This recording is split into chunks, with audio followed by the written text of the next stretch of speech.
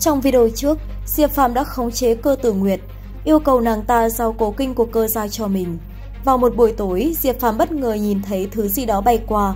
Sau khi bay qua kiểm tra thì phát hiện nó chỉ là một con chim. Hắn không quá để tâm đến con chim này, nhưng mà cơ tử Nguyệt thì khác, nàng ta hốt hoảng yêu cầu hắn mò bắt lấy con chim lại. Con chim nghe được những lời này liền bay đi. Diệp Phạm lập tức đuổi theo định bắt nó, nhưng mà con chim này đã hóa thần mất rồi. Nó liên tục tránh né, đồng thời còn phóng công kích tấn công ngược lại Diệp Phàm. Phải mất một hồi thì Diệp Phàm mới đánh trúng con chim và tiễn nó về đất mẹ. Con chim này là sùng vật của cờ Bích Nguyệt, chị gái cơ tử Nguyệt. Trên thân có ấn ký, một khi chết sẽ truyền vị trí cuối cùng về cho cô ta. Chuyện có liên quan tới tranh đoạt quyền lực trong gia tộc. Cơ tử Nguyệt yêu cầu hắn giải khống chế cho mình trước rồi nói sau. Diệp Phàm không chịu, tu vi của cô gái này cao hơn mình quá nhiều. Một khi giải cấm chế, nói không chừng, hắn sẽ lập tức bị giết chết. Việc trước tiên là đi khỏi nơi này đã. Nhưng còn chưa kịp rời đi thì một cô gái đã đuổi đến. Cô gái này tên là Cơ Hà, chỉ là người hầu của Cơ Bích Nguyệt mà tu vi đã cao hơn Diệp Phàm một bậc. Mục đích đến đây chính là lấy mạng Cơ Tử Nguyệt.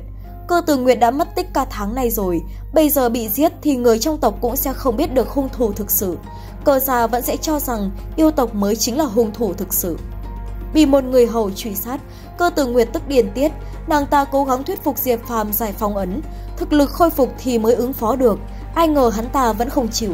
Sau một hồi trò chuyện thì cơ hà cũng xác định được thực lực của cơ tử nguyệt đã bị phong ấn, thế là cô ta không còn e ngại nữa. Cơ hà lập tức tung chiêu tấn công. Diệp Phàm vội vàng theo cô nàng bỏ chạy, sau thủ trực diện rất khó để thắng, cho nên hắn chọn cách lặn xuống hồ nước. Hắn muốn lợi dụng huyền hoàng nhị khí để tấn công cơ hà, Hắn tấn công liên tục xuống chỗ huyền hoàng nhị khí, dẫn động nó bạo phát.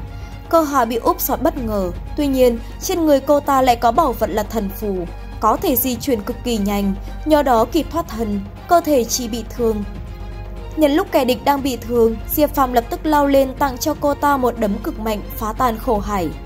Biết mình không còn khả năng sống sót, cô ta lập tức chơi bài tự bảo nhằm đồng quy vu tận với Diệp Phàm và cơ tử Nguyệt. Dùng một mạng đổi lấy hai mạng thì vẫn rất có lời. Tiếc là ý định này đã không thành công, vì Diệp Phàm lập tức lao lên bồi thêm một đấm.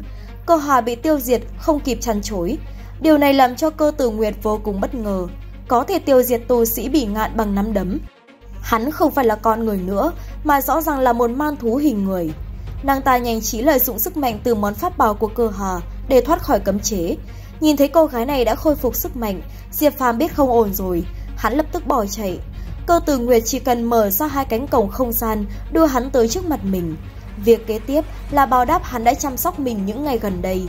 Nói là báo đáp, chứ thực chất là đang trả thù. Diệp Phàm bị trói vào gốc cây và bị yêu cầu chia huyền hoàng mẫu khí cho nàng. Diệp Phàm cũng bó tay hết cách. Không phải hắn không cho, mà là không cách nào khống chế được. Sao mà chia chứ? Cơ tử Nguyệt hoàn toàn không tin, nhưng cũng bó tay hết cách. Diệp Phàm muốn thừa cơ bỏ chạy thì bị chặn lại. Trên người hắn có quá nhiều bí mật, nàng ta muốn giữ hắn lại rồi từ từ moi hết bí mật ra. Hắn đồng ý giúp nàng đối phó với cơ Bích Nguyệt để đổi lấy hư không kinh. Cơ Tử Nguyệt vẫn nhất quyết không chịu, đổi lại thì nàng ta có thể dẫn hắn đến Thái Huyền Môn.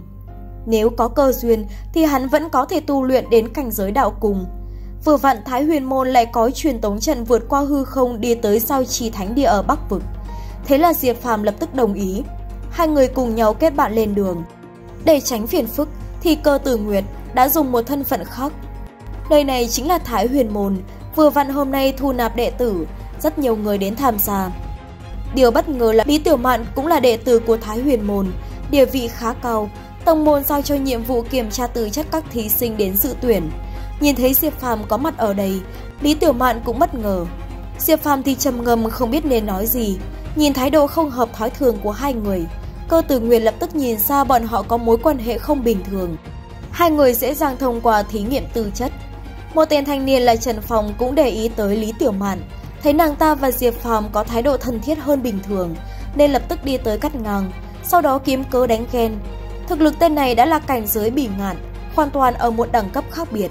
Gã liên tục phóng ra công kích. Diệp Phàm một mực tránh né, cảm thấy bị mất mặt vì không làm gì được nam chính, Gã ta lập tức sử dụng ra công pháp truyền thừa. Đúng vào lúc Diệp Phàm gặp nguy hiểm thì từ trưởng lão xuất thủ ngăn cản. Tên Trần Phong khán tội lên đầu Diệp Phàm, nói rằng hắn làm ầm ĩ trong sơn môn nên gã mới ra tay cảnh cáo. Diệp Phàm biết rằng thế giới này đề cao thực lực, dù mình có lên tiếng phủ nhận thì cũng không có được kết quả tốt nên đã không lên tiếng. Từ trưởng lão không muốn truy cứu, ông ta lên tiếng cảnh cáo, Thái Huyền Môn là thánh địa tu hành, nghiêm cấm ẩu đả đánh nhau, bất kể là ai vi phạm đều sẽ bị trừng phạt. Trần Phong tức lắm nhưng không làm gì được, gã chỉ đành nuốt cơn phẫn nộ vào trong bụng. Sau bài kiểm tra tư chất là bài kiểm tra thực chiến, yêu cầu là tiến vào cánh cổng trước khi ngọn lửa trên tay trưởng lão bị tắt.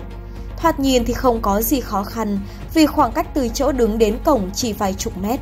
Nhưng dưới mặt đất lại có cơ quan trùng trùng, các cây cột liên tục nhô lên, hạ xuống, di chuyển trái phải, đâm vào nhau không theo quy luật nào cả. Chỉ nhìn đã hòa mắt rồi.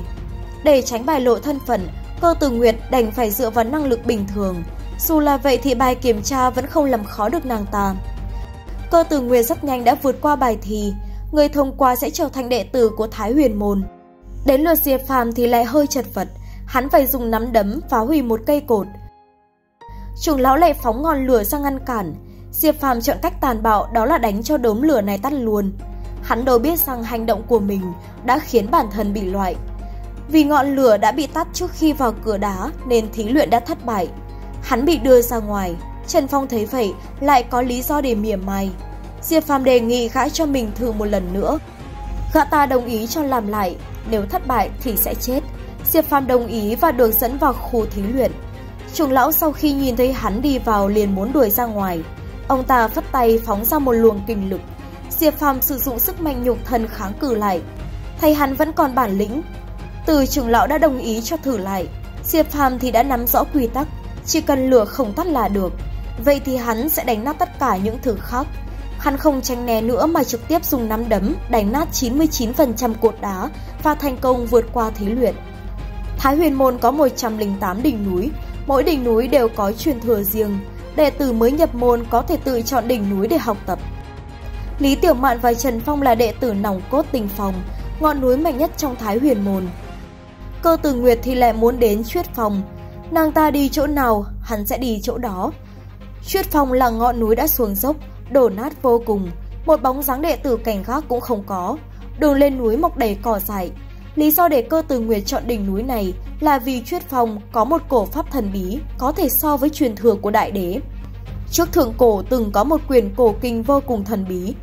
Tiếc là quyền cổ kinh đã bị chia tách, chín loại bí thuật tán loạn ở thế gian. Tiên thuật truyền thừa của ngọn núi này là một trong chín loại bí thuật đã bị tán loạn đó.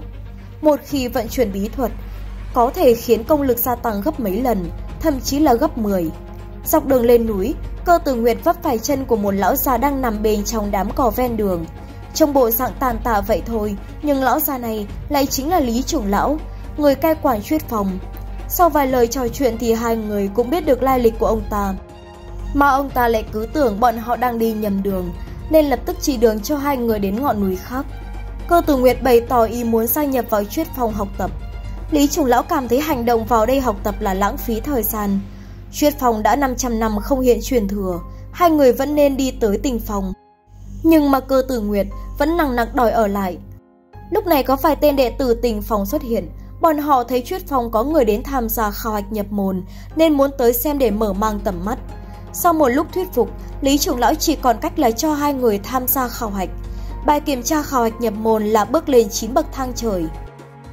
Mấy tên đệ tử tình phòng lên tiếng khinh thường, bọn họ cho rằng cơ tử Nguyệt và Diệp Phàm có tư chất cực kỳ tệ. Vì không được những ngọn núi khác lựa chọn nên mới bất đắc sĩ tới đây. Vốn dĩ hai người không cần phải khảo hạch, nhưng mà nghe thấy mấy tên này nói như vậy. Vậy nên cơ tử Nguyệt lập tức muốn cho bọn chúng được mở mang tầm mắt. Nàng ta nhảy lên thang trời, mỗi một bậc đều có khảo nghiệm.